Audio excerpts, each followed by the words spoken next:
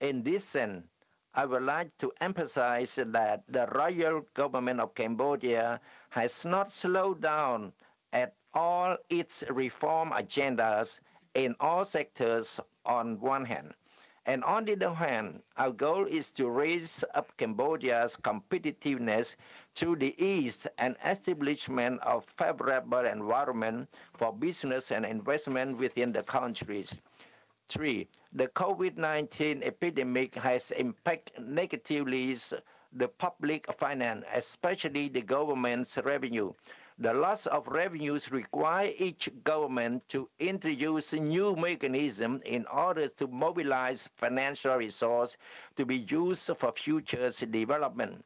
To achieve this goal, I'm of the view that public-private partnership, PPP, is an indispensable and core mechanism that will help solve the financial difficulties of developing countries both during and after the pandemic. Four, during this difficult time, in order to advance their reform agenda, developing countries need global cooperation, particularly the preservation of both bilateral and multilateral partnership, aiming at ensuring an environment for development, peace, and stabilities at the regional and global level.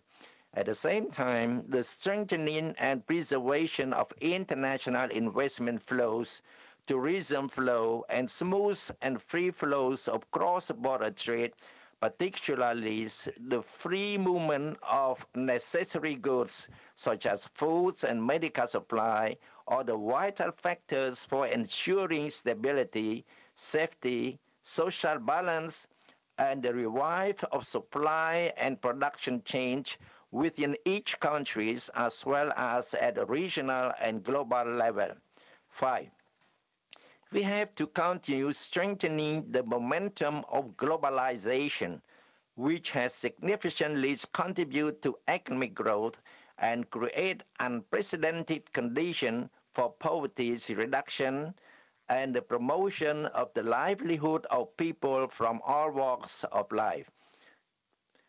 In this context, we have to ensure that our cooperative mechanism can still maintain a spirit of openness and support for the multilateral trade system, especially the acceleration of social economic connectivities for each country's development agendas in a sustainable and inclusive manner. Six, without any further delay, we have to start thinking strategically of the restoration and the recoveries of the economies once the pandemic subsides. Through accelerating of the implementation of existing and newly introduced plans and mechanisms in a speediest and very effective manner. Seven, at the global level, we have to continue ensuring the sustainability of international aids particularly financial aids for developing countries, so that they can continue to drive progressively their reform, which are part of the 2030 agendas for sustainable development goals. In this context, on behalf of the Royal Government of Cambodia, I would like to express my profound gratitude and sincere appreciation to all development partners for their proactive cooperation and technical and financial assistance that have enabled Cambodia to effectively control the spread of the COVID-19. Thank you for your kind attention. Prime Minister, thank you very, very much indeed. It's a, a, a clear and, if I may say so, I think rather optimistic statement which is very good to hear. Um, we need to do exactly as you say, find common cause and make sure that we turn COVID into an opportunity to redouble our efforts to achieve the sustainable development goals. I'm sure there will be a huge amount of interest amongst our participants and in the panels for the range of responses that Cambodia has employed, particularly your focus on not just the immediate response, but making sure that the longer term recovery is front and center of your overall response, which we know is critical to getting through this crisis. The other element that came out so strongly is your uh, request, your demand for increased global cooperation. Now is not the time for us to turn the, our backs on bilateral relations, but also the multilateral system. So thank you very, very much indeed. If I may, I would like to, to turn now to uh, the Honorable Minister Amadou Hott, Minister of Economy and Planning in Senegal, uh, to hear some thoughts from you. And then, if I may, come back to both of you for some, for, for some further thoughts. Thank you very, very much indeed for such a stimulating opening to our deliberations, Prime Minister. Good morning, uh, everybody. Uh, thank you very much, uh, Susanna, for uh, the invitation. Uh, thank you to the uh, World Economic Forum also for organizing this. I'm very much pleased to be on this session with His Excellency, the Prime Minister of the Kingdom of Cambodia. we are extremely delighted to share that despite the uh, COVID-19 actually uh, uh situation, uh, uh, Senegal has managed uh, with swift actions since the pandemic has started to really take the right measures to make sure that the crisis is under control. very early during the crisis, we, we, we took the steps to basically make sure that uh, the airports were closed to make sure that the health system had the resources uh, to face to face this pandemic. That's why Senegal actually was ranked by Foreign Policy uh, as number two in the world, basically, in terms of managing uh, uh, the, the, managing the crisis, and number one in Africa. despite all of that, we've been also hit by the, the, the pandemic uh, from a social but also economic standpoint. Uh, the Senegal had what we call the Plan Sénégal Émergent that was launched by His Excellency President Macky Sall uh, in 2014. And since then, our economy had been growing on average by 6.5%. Uh, but with this pandemic, uh, unless we, we, we, we, manage to have uh, a, a, very good agricultural production exceptionally this year, we will be in recession. But I just came back for, with the president from an, an economic tour inside the country to see what farmers has been doing in the country. With the exceptional uh, rain, rainy season this year, uh, we believe that uh, we might be able to avoid actually recession. So we'll see over the next two months how the economic production uh, definitely uh, will, will, will, will evolve. Uh, what we also have done uh, uh during this crisis uh, is really to uh, put together a, a, resilience program.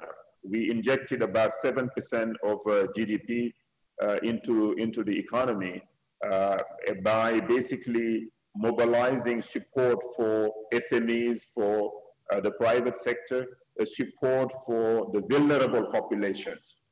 we, we, we basically uh, Uh, distributed uh, food to more than uh, uh 8 million uh, people in the country, about 1.3, 1.2 million households in the country. We also supported our diaspora.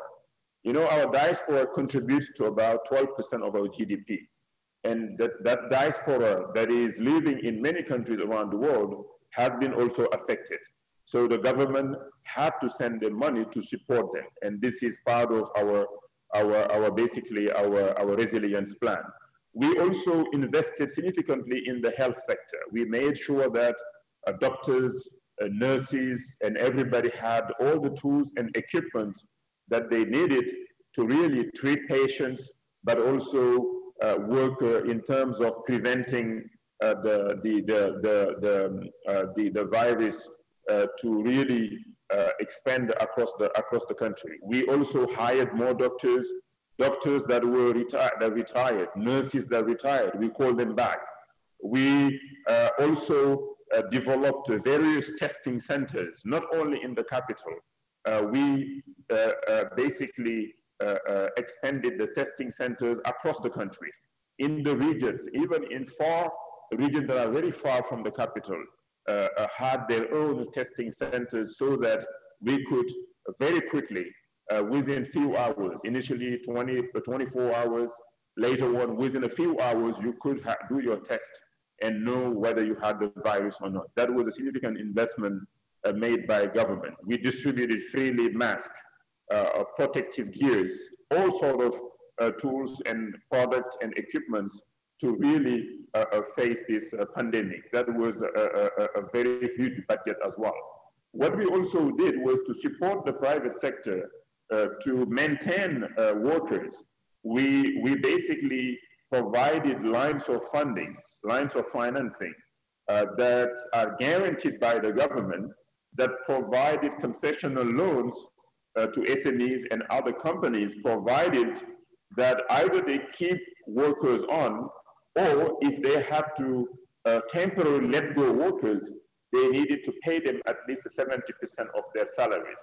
So that was a very important uh, process. But also the central bank uh, uh, put in place uh, a moratorium system so that all the companies that are affected or or population affected by the pandemic uh, could see their loans uh, freeze, let's say, for three months without any interest cost, without any penalties. That was something done also with central bank.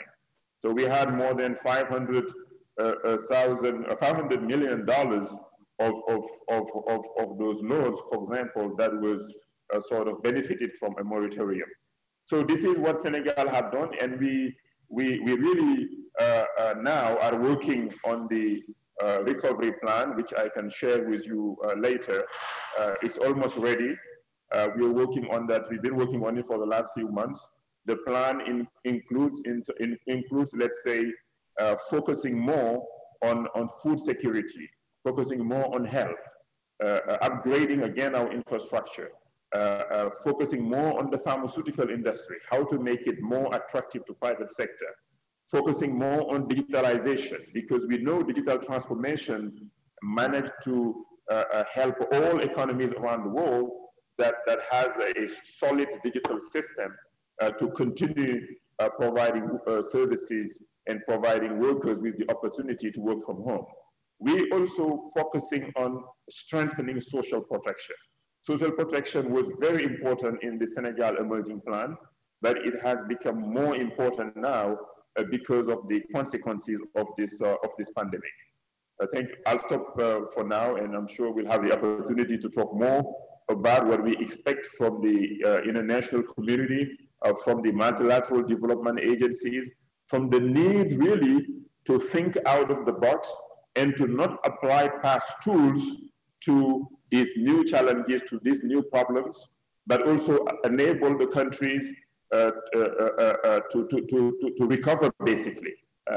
you know, it's very tempting to try to come back into austerity after countries have spent a lot of resources to face this pandemic.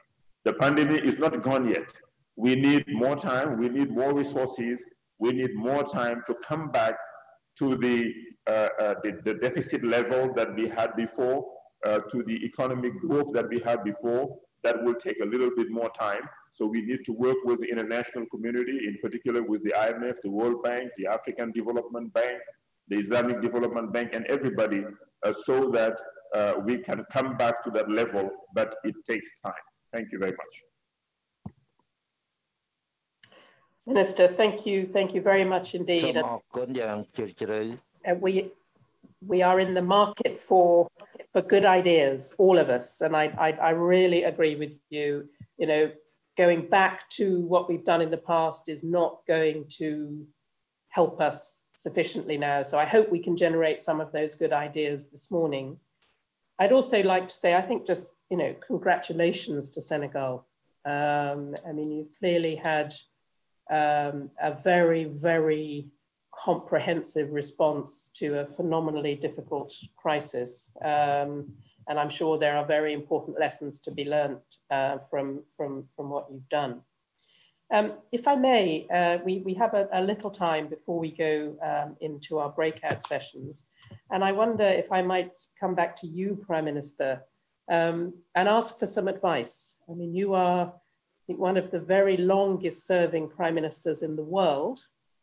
How do we get the international community to come together in a way that you've called for? How do we promote more global cooperation? Have you got any good ideas?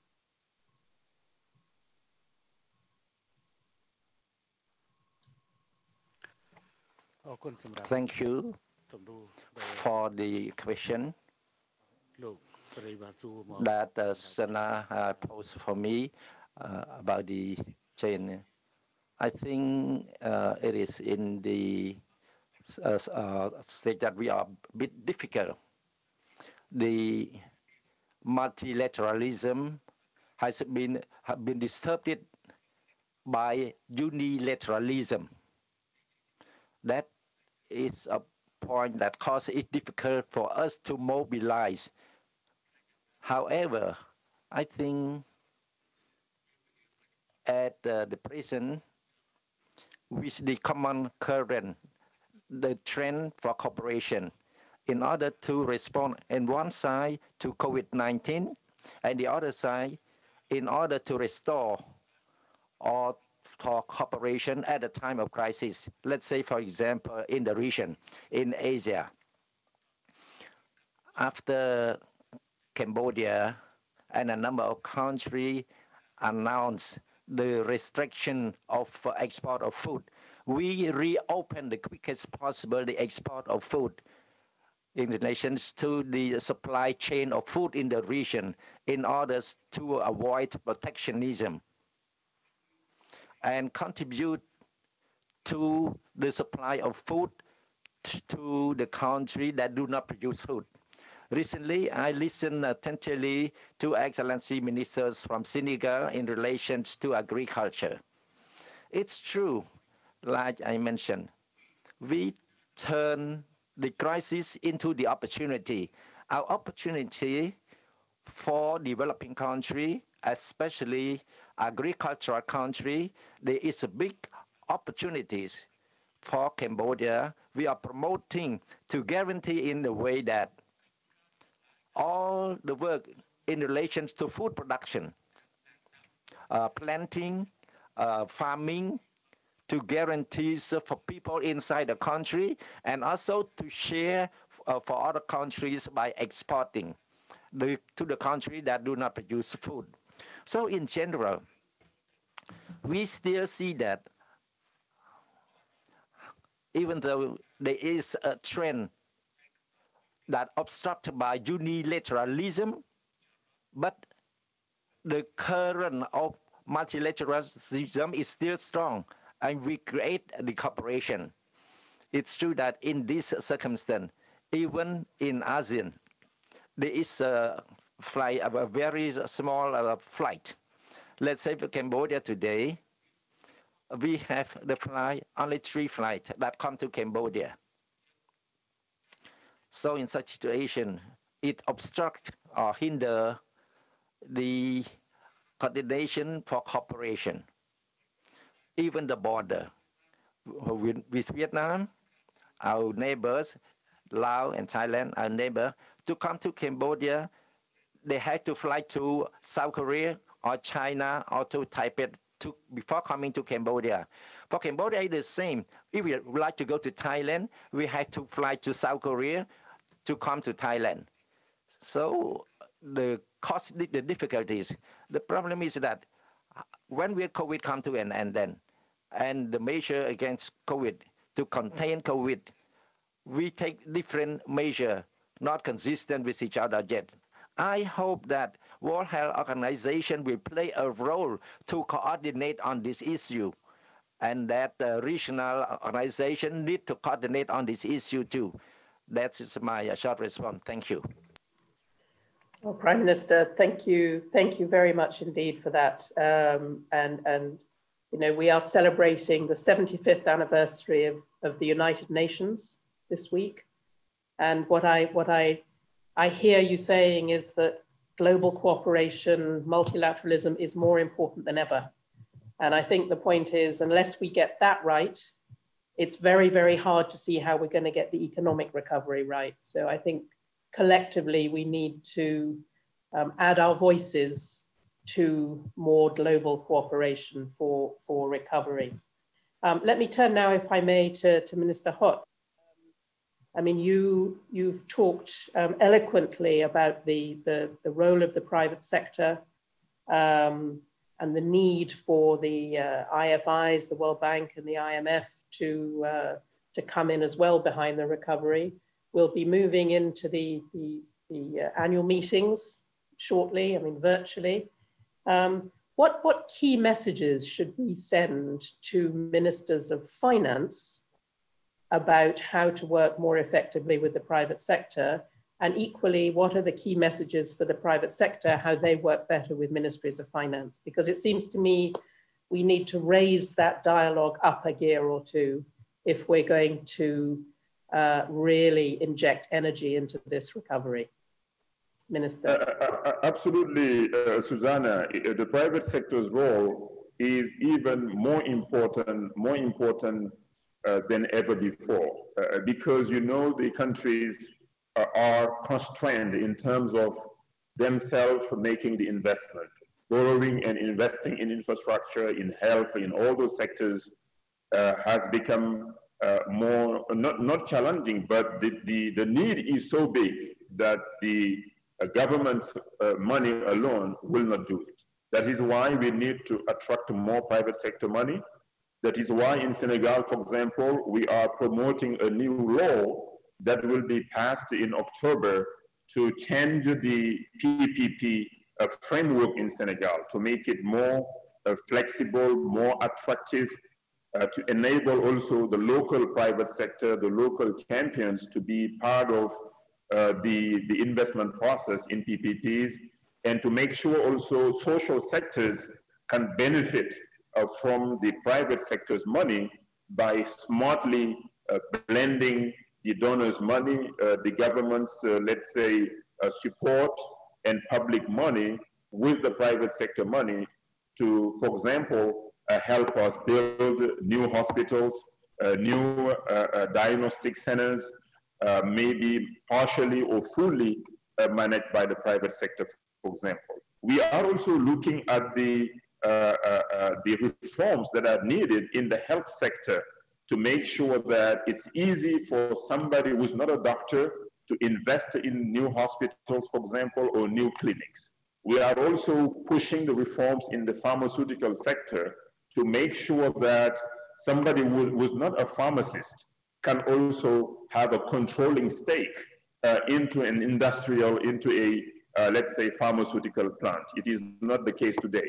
We are also making sure that, uh, uh let's say, we are having the tax exemptions or at least reforms in the uh, uh, rice production sector, for example, to make it more competitive.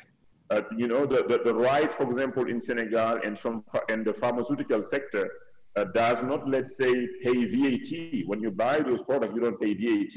But you, if you're an investor, uh, all your, let's say, um, uh, what you call a raw material, you may pay some VAT on it. And that is an imbalance that we have to fix. Uh, what we are also doing is supporting the private sector in terms of guarantees to the banking sector so that they can lend easily to the private sector that is investing uh, to support investment in the recovery phase. What we're also trying to do is to make sure also that we are collecting more taxes, but not the, from the same people. We want to widen the tax base, so we are working with our partners, in particular uh, the, the IMF, the African Development Bank, and World Bank to reform also, uh, let's say, the tax mobilization, and also to reform the informal sector one of the lessons that we have learned in this crisis is that we have to succeed in formalizing more uh, the informal sector. Because if you don't know your informal sector, uh, it's, a, it's, it's a big challenge because you're not able to support them in times of crisis. You cannot support them more efficiently. But also, uh, uh you know, it, it will be hard uh, to collect tax also from that informal sector. So all those things need to go uh, together. It's important for the government to make sure that all the reforms are done for the private sector to invest more, to invest more, but also it is important for the private sector also to mobilize, to help the government mobilize domestic uh, resources. Because we cannot just keep uh, expecting money from the international uh, partners. We need to increase our tax base. Today, our tax to GDP is about uh, 16, uh, roughly 16%, 16 to 17%, but we need it to go to 20% over the next three years, and we are doing reforms for that. But ideally, we need to be around the 25%, uh, but it will take, that will take more time. So, so what I want to also to share with you is that uh, for the private sector to invest, in particular in PPP, in the infrastructure space, we need to have project preparation facilities. We have many project facilities around the world, but it's, it's easy to access to the money. That's why in Senegal, we are putting our own project preparation facility focused on Senegal and, and mobilize money from the budget, from the donors, uh, so that in particular grant money, so that when we are talking to investors, we are not just showing them a list of projects. We are showing them all the information they need to make the right decision to invest.